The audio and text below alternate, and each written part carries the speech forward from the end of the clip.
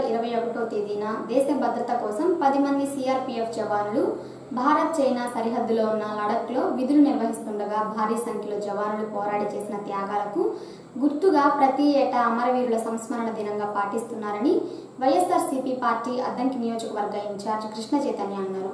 Police అమరవీరుల వారోత్సవాల సందర్భంగా శుక్రవారం అద్దంకి పోలీసులు అవగాహన ర్యాలీని ఏర్పాటు చేయగా ముఖ్య అతిథిగా కృష్ణ చైతన్య హాజరయ్యారు. పోలీస్ స్టేషన్ నుంచి భవానీ సెంటర్ వరకు జరిగిన అవగాహన ర్యాలీలో సిఐఎస్ఐలతో పాటు చైతన్య కూడా పాల్గొన్నారు. ఈ సందర్భంగా ఆయన మాట్లాడుతూ సమాజంలో శాంతి భద్రతలు పరిరక్షణ కోసం విధి నిర్వహణలో తమ ప్రాణాలను అర్పించిన పోలీసు అమరవీరుల త్యాగాలను స్మరించుకుంటూ వారికి ఘన నివాళులు అర్పిస్తున్నారని చైతన్య తెలిపారు. ఇరవై నాలుగు గంటలు భారతదేశం సరిహద్దుల్లో కాపలా కాస్తూ ఎంతో హాయిగా ఉంటున్నారని కృష్ణ చైతన్య తెలియజేశారు. పోలీస్ అమరవీరుల దినోత్సవం సందర్భంగా అద్దంకి ప్రాంతానికి చెందిన రఫీ దాన్ని స్మరించుకుంటూ వారు గత లైలా తుఫాన్ సమయంలో నేవర్మెట్ల అంబేద్కర్ ప్రాంతంలో ఆదినికల గ్రామంలో లైలా తుఫాన్ సమయంలో తనకను రక్షించిపోయి వాళ్ళ ప్రాణాలు ఉంచుకున్నాము తెలిసిన విషయమే.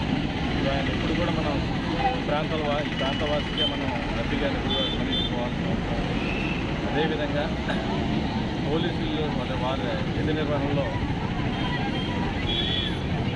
ఎంతో ఎంతో ఎంతో మందిని కాపాడే ప్రయత్నం కానివ్వండి అది అనేక రకమైన విషయాల్లో వారు ప్రాణాలు కోల్పోవడం చాలా సందర్భాలు సో వారందరినీ కూడా మనం స్మరించుకోవాల్సిన అవసరం ఎంతైనా ఉంది.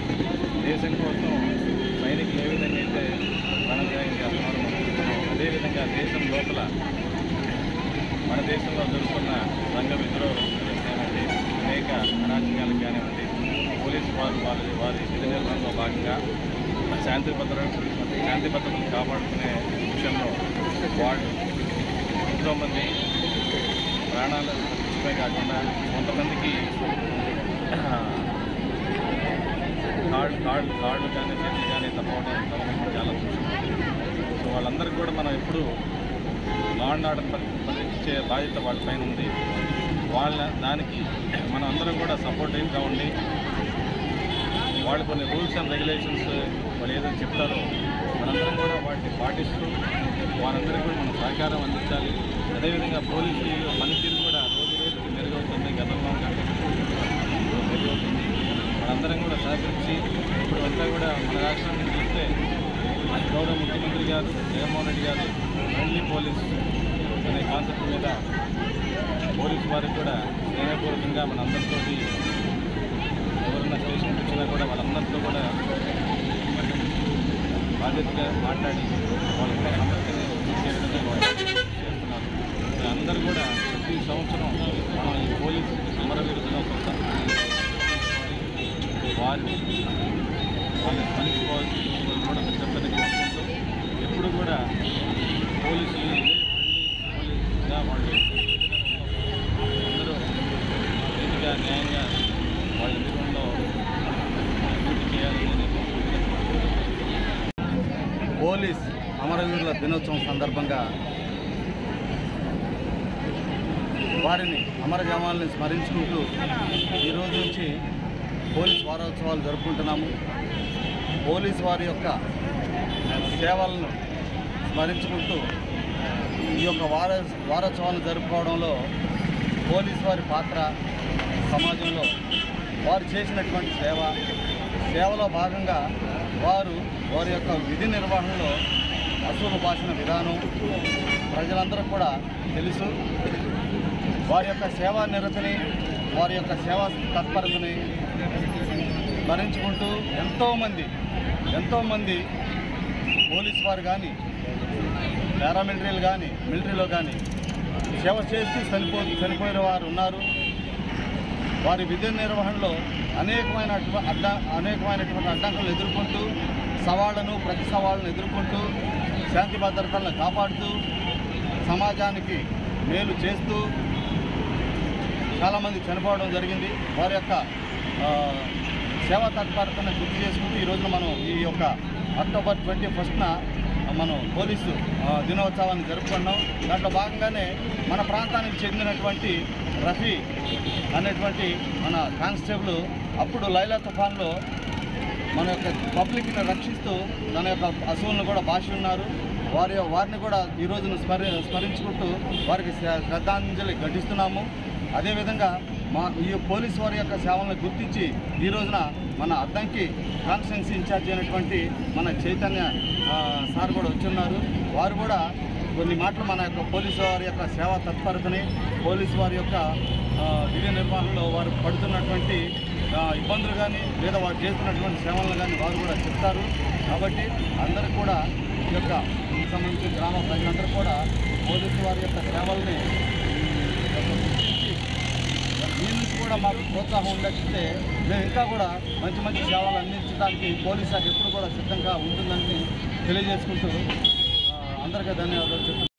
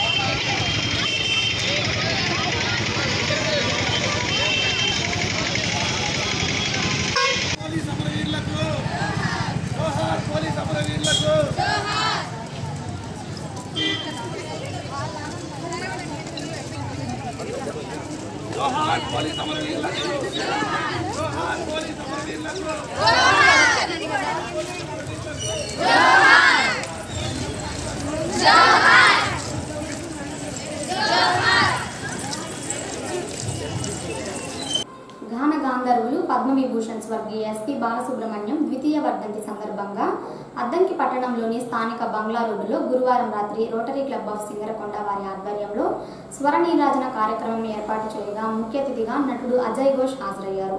ముందుగా ఎస్పి బాలు చిత్రపటానికి పూలమాలలు వేసి నివాళులర్పించారు. ఈ సందర్భంగా పలువురు గాయకులు ఎస్పి బాలు పాడిన పాటలు పాడి అందరినీ అలరించారు. అనంతరం జరిగిన కార్యక్రమంలో నటుడు అజయ్ ఘోష్ మాట్లాడుతూ ఎస్పి బాలు ప్రజల మధ్యలో లేకపోయినా ఆయన పాటలు అందరి మనసులో మునిగి ఉన్నాయని బాలసుబ్రహ్మణ్యం సినీ సంగీతంలో అవధులు లేని హద్దులు లేని అంతకీర్తి ప్రతిష్టలు సాధించారన్నారు. పాట ఉన్నంత వరకు ఎస్పి బాలసుబ్రహ్మణ్యం సంగీత ప్రపంచంలో బ్రతికే ఉంటారని పాత కొత్త తరం గాయకులు ఎస్పి బాలును ఆదర్శంగా తీసుకోవాలని అజయ్ ఘోష్ అన్నారు. తను ఎస్పి బాలు ద్వితీయ వర్ధంతి సందర్భంగా ఏర్పాటు చేసిన స్వరనీరాజనం కార్యక్రమంలో పాల్గొనడం సంతోషంగా ఉందన్నారు. అభిషేక్ అభిషేక్ అన్న భారతి గారు శైలజ గారు అన్న నమస్తే. ఏంది? వీళ్ళందరూ కూడా నిజంగా పోతే మా తబల వాయిస్తున్న అన్నాడు అనవు రా పైకి రా. నాకు చిన్నప్పుడు అనిపించేది తబలా చూస్తుంటే దీన్ని ఎట్టయినా నేర్చుకోవాలనిపించేది. అలా. వీళ్ళందరూ కూడా నిజంగా గొప్పోళ్ళండి అసలు. ఎంత గొప్పోళ్ళంటే మట్టిలో మాణిక్యాలు అందరూ కూడా. సో మీ అందరి ఆశీర్వాదం. భగవంతుడు ఆశీర్వాదం తీసేయండి. మీ ఇక్కడ నిలబడ్డ వాళ్ళు ఇక్కడ కూర్చున్న వాళ్ళందరూ నిండు మనసుతో వీళ్ళందరిని ఆశీర్వదించండి. వీళ్ళు కూడా పెద్ద స్థాయికి వెళతారు. ఇలాంటి కార్యక్రమాలు ఇంకా మంది మళ్ళీ చేయగలుగుతారు. కాబట్టి ఈ అవకాశం ఇచ్చిన మీ అందరికి కూడా అద్దంకి పట్టణ వాసులందరికి కూడా. అంత లేదు, సీన్ లేదు మనకి. షూటింగ్ కట్ అంతవరకే. ఏమంటే నేను ఇంకో విషయం. వీళ్ళంటే సంగీతం పాటలు ఇవన్నీ ఎవరు అది వేరు. మాదే ఉందండి. యాక్షన్ అని చెప్తే అక్కడ ఇచ్చిన డైలాగ్ ఏదో చెప్పేయటం. అబ్బే మనకు చేత కదా అసలు. అబ్బే అవన్నీ మర్చిపోయి సో ఈ అద్దంకి పట్టణంలో ఈ కార్యక్రమంలో పాల్గొనడం నిజంగా నా అదృష్టంగా భావిస్తూ ఆ కళామతి తల్లి సాక్షిగా అందరూ కూడా బాగుండాలి అందరూ మనం ఉండాలి. ఆయన ఒక నటుడు. అంతే. నాకు పెద్ద ఆయన ఒక మాట చెప్పాడు. అంటే మీరు ఏమన్నా మీరు నా పాటలు వినిపిస్తారు నేను రెండు మాటలు మాట్లాడేసి వెళ్ళిపోతా. ఏడేడు పద్నాలుగు జన్మల్లో చేసుకున్న పుణ్యం ఉంటదే. పద్నాలుగు జన్మలు దాటిన తర్వాత ఆడు పైకి వెళ్ళిన తర్వాత పుణ్యం చేసుకుంటాడు ఆడమ్మ అమ్మ ఇంత పుణ్యం చేసుకున్నాడు ఈడు. వీడికి ఏదో బహుమతి ఇవ్వాలని చెప్పేసి గీత అట్లా రాస్తాడంట. అదే కళాకారుడు. కవో కళాకారుడు ఆ గీత అట్లా గీసి పంపుతాడంట. అట్లా కింద కూర్చున్నోడికి బతకడం జాత కాదు. అబద్ధాలు ఆడడం జాత కాదు. వ్యాపారం చేయటం జాత కాదు. మోసగించడం జాత కాదు.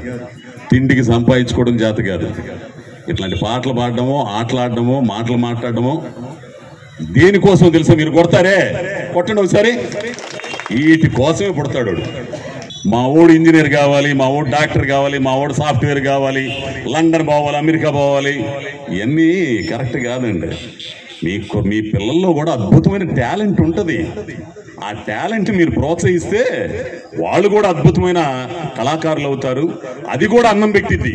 సమాజంలో అద్భుతమైన కీర్తి తీసుకొచ్చింది ఇదిగో ఈ మహానుభావుడు ఉన్నాడే ఇప్పుడు. ఇట్లాంటి మహానుభావులను ఎంతో మందిని తయారు చేయగలుగుతాం. ఇట్లాంటి కార్యక్రమం చిన్న కార్యక్రమాన్ని నేను ఎప్పుడు అనుకోను అసలు. నేను ఎప్పుడు కలగలను. ఓడి అమ్మ అక్కడ దాకుంటారు జనాలకి ఇవన్నీ కాదు. ఇది ఇది నిజమైన కార్యక్రమం అంటే. ఇది నిజమైన కార్యక్రమం. మనసుల్లో ఉండి మనసుల్లో ఉండి ఆ మహానుభావుడికి నివాళులు అర్పించాలని వీళ్ళింతమంది ఆదామన్న ప్లస్ ఆయన మస్తాన్ రావు వీళ్ళందరూ కలిసి తీసుకొచ్చి చేస్తున్నారంటే నిజంగా అన్న మీ అందరికీ నేను ఏదో ముఖస్థుతి కోసం చూడడం కాదు తలోంచి శిరస్సు ఉంచి ప్రణామం చేస్తాను మీ అందరికి కూడా.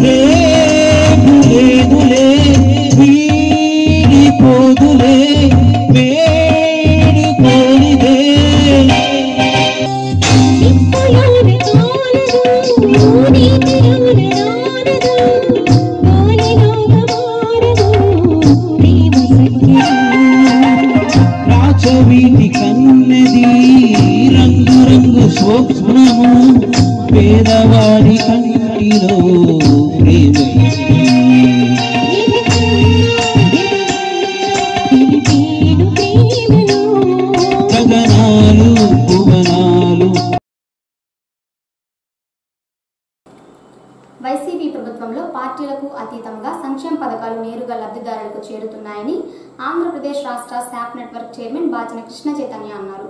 అద్దంకి పట్టణంలోని పదవ వార్డులో రెండవ రోజు గడప గడపకు మన ప్రభుత్వం కార్యక్రమాన్ని ఏర్పాటు చేయగా కృష్ణ చైతన్య హాజరై ఇంటింటికి తిరిగి ప్రభుత్వం అమలు చేస్తున్న సంక్షేమ పథకాల గురించి వివరించి అర్హులందరికీ సంక్షేమ పథకాలు అందుతున్నాయో లేదో లబ్ధిదారులకు ప్రభుత్వ పథకాలకు సంబంధించిన బుక్లెట్స్ను అందజేశారు. అలాగే సంతమాగలూరు మండలం మామిళ్ళపల్లి గ్రామంలో శుక్రవారం మూడవ రోజు గడప గడపకు మన ప్రభుత్వం కార్యక్రమాన్ని ఏర్పాటు చేయగా కృష్ణ చైతన్య హాజరై ఇంటింటికి తిరిగి ప్రభుత్వం పనితీరు గురించి స్థానిక ప్రజలకు వివరించారు. అద్దంకి పట్టణంలోని సింగరకొండ ప్రసన్నాంజనేయ స్వామి దేవస్థానం trust board director Jyothi Chandramouli ఇటీవల మోకాళ్ళు చికిత్స చేయించుకోగా శుక్రవారం కృష్ణ చైతన్య వారి ఇంటికి వెళ్ళి పరామర్శించి ధైర్యం చెప్పారు. మొత్తం నాలుగు నాకు ఈ ప్రభుత్వం మన కూడా పడ్డాయా? పెన్షన్ వస్తుంది. ప్రతి నెల ఒకటో తేదీ ఉదయాన్ని ఇస్తున్నారా? ఇంటి స్థలం ఇచ్చారు. ఎక్కడ ఇచ్చారు? నాలుగు పెన్షన్ వస్తుంది? ప్రతి నెల ఒకటో తేదీ ఉదయాన్ని ఇస్తున్నారు? రేషన్ కూడా వస్తుంది. ఒక లక్ష ఏడు వేలు వచ్చింది. పెన్షన్ ద్వారా. మూడేళ్ళు వైఎస్ఆర్ ఆసరా వచ్చింది సున్నా వడ్డీ రైతు భరోసా వచ్చింది అమ్మఒడి వచ్చింది మిగతాలు వచ్చింది పెన్షన్ కూడా వచ్చింది మొత్తం లక్ష డెబ్బై ఐదు వేలు వచ్చింది ఈ మూడే మా వాలంటీర్ పనితీరు బాగుంది మీకు అర్హత ఉంది, పథకాలు అన్నీ అందుతున్నాయి గత అర్హత ఉండి రావటం అసంతృప్తి చేస్తాను ఇబ్బంది జగన్ ప్రభుత్వం.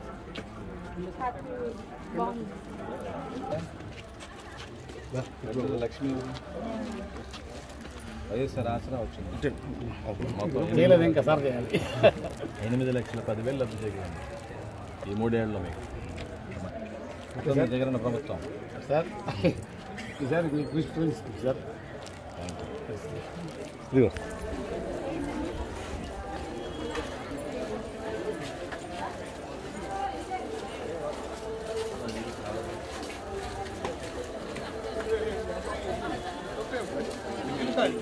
సీనియర్.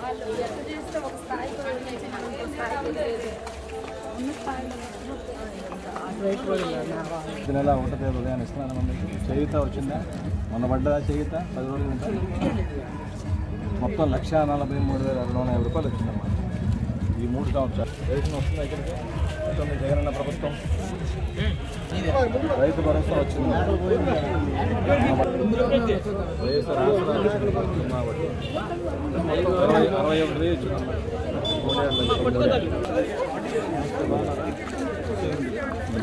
వైఎస్ఆర్ ఆసరా వచ్చింది. సున్నా వడ్డీ చేయుత వచ్చింది. మన కూడా పడ్డాయి చేయుత. మొత్తం ఎనభై వేలు వచ్చింది ఎలా ఉంది జగనన్న ప్రభుత్వం? కందుకూరి రాజు. మీరేనా? చేయుత వచ్చిందా మీకు. మన పడ్డాయి పద్దెనిమిది వేలు వైఎస్ఆర్ ఆసరా వచ్చింది సున్నా వడ్డీ డెబ్బై రెండు వేలు వచ్చింది నెక్స్ట్ ఇల్లు చూడు.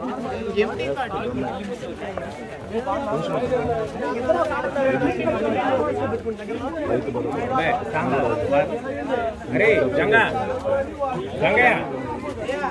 ఇన్పుట్ సబ్సిడీ మూడు వేలు మొత్తం ఎనభై ఐదు వేలు వచ్చింది మూడేళ్ళు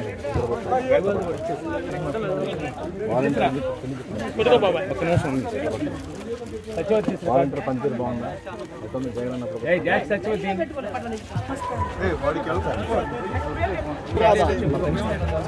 ప్రతి నెల ఒకటో తేదీ ఉదయాన్నే తెలుస్తున్నారు చిన్న వడ్డీ వచ్చింది మొత్తం ఎనభై వచ్చింది. అనురాధ చూడండి ఈ ప్రభుత్వంలో వాలంటీర్ బాగా పనిచేస్తున్నారు మీరు అడిగిన స్పందిస్తున్నారు జగనన్న ప్రభుత్వం. బల్లికురువ మండలం ఎస్ఎల్గుడిపాడు శివారు కాలనీలో దొంగలు బీభత్సం సృష్టించారు. కాలనీలో ఉన్న అంకమ్మ తల్లి దేవాలయంలో నిద్రిస్తున్న అయ్యప్ప స్వాములకు చెందిన నగదుతో పాటు ఐదు సెల్ ఫోన్లను అపహరించారు. దుండగులు ఆటోలో వచ్చి మొబైల్ ఫోన్లతో పాటు నగదును తీసుకుని వెళ్తున్న దృశ్యాలు సీసీటీవీ ఫుటేజ్లో రికార్డ్ అయ్యాయి ఈ చోరీపై బాధితులు పోలీసులకు ఫిర్యాదు చేయగా పోలీసులు కేసు నమోదు చేసి దర్యాప్తు చేస్తున్నారు. వరుస దొంగతనాలతో ప్రజలు భయపడిపోతున్నారు.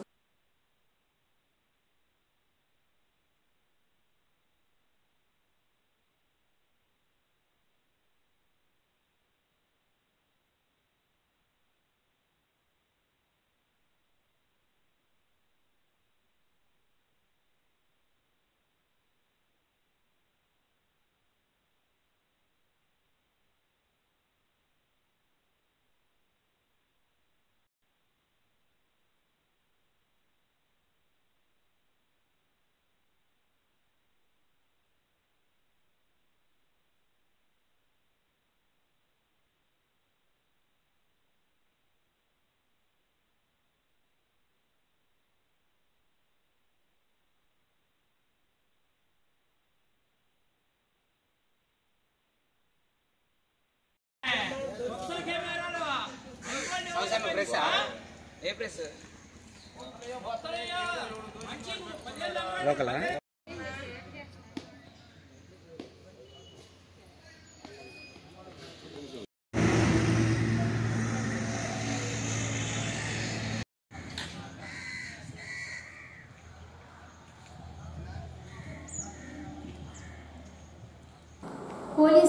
అమరవీరుల వారోత్సవాలు నేటి నుంచి వారం రోజుల పాటు ప్రతి పోలీస్ స్టేషన్లో జరుగుతాయని అద్దంకి టౌన్ సీఏ రాజమోహన్ అన్నారు. ఈ సందర్భంగా ఆయన మాట్లాడుతూ పోలీస్ అమరవీరుల వారోత్సవాలు రెండవ రోజులో భాగంగా శనివారం ఉదయం అద్దంకి పోలీస్ స్టేషన్ ఆవరణంలో ఉచిత వైద్య శిబిరం ఏర్పాటు చేస్తున్నారని వైద్య శిబిరంలో పోలీస్ సిబ్బందికి ఉచితంగా బీపీ షుగర్ పరీక్షలు చేసి ఆరోగ్యపరంగా పలు సూచనలు సలహాలు ఇవ్వటం జరిగిందని సీఏ రాజమోహన్ తెలిపారు. వైద్య శిబిరానికి సహకరిస్తున్న వేద ఫార్మసీ కళాశాల వారికి ధన్యవాదములు అన్నారు. మరియు మండల మండలంలో ఉన్న అన్ని గ్రామాల ప్రజలకు విజ్ఞప్తి ఏంటంటే పోలీసు అమ- అమరవీరుల దినోత్సవంలో భాగంగా ఈ రోజు నుంచి కూడా మేము వారోత్సవాలు జరుపుకుంటున్నాము. దీంట్లో భాగంగానే రేపు ఉచిత medical camp police station police station ఆవరణలో జరుగుతుంది. దానికి గాను ఉచిత B sugar test sugar BP మరి ఇతర శారీరక సమస్యల గురించి కూడా డాక్టర్ గారి ద్వారాగా ఏర్పాటు చేయడం జరుగుతుంది. డాక్టర్ సుధాకర్ గారు వీరు మేము పిలిచిన మేము అడిగిన వెంటనే మా యొక్క ఆహ్వానాన్ని మా యొక్క విన్నపాన్ని మన్నించి వారు కూడా చాలా సుముఖంగా సుము సుముఖతను వ్యక్తం చేసి రేపు ఇక్కడ క్యాంపు ఏర్పాటు చేయడానికి వారు చాలా సముఖత వ్యక్తం చేశారు. వారికి నా ధన్యవాదాలు తెలియపరుస్తున్నాను. కాబట్టి ఇటువంటి అవకాశాన్ని మన అద్దెకపట్నం కానీ గ్రామాల ప్రజలు కానీ ఉపయోగించుకుని సహకరించవలసిందిగా తెలియజేస్తున్నాను. వాసవి వనితా క్లబ్ డిస్ట్రిక్ట్ గవర్నర్గా ఊటుకూరి ఉమా అన్నపూర్ణ క్యాబినెట్ సెక్రటరీగా గ్రంథి లక్ష్మి నాగరాజు కుమారి ట్రెజరర్గా మాధవీలను ఎన్నుకోగా శుక్రవారం వీరిని వాసవి వనితా క్లబ్ ప్రతినిధులు అభినందనలు తెలియజేసి కేక్ కట్ చేశారు. వీరు ఒకటి ఒకటి రెండు వేల ఇరవై మూడున బాధ్యతలు స్వీకరించనున్నారు. తనను డిస్ట్రిక్ట్ గవర్నర్గా ఎన్నుకున్నందుకు సంతోషంగా ఉందని అన్నపూర్ణ తెలిపారు.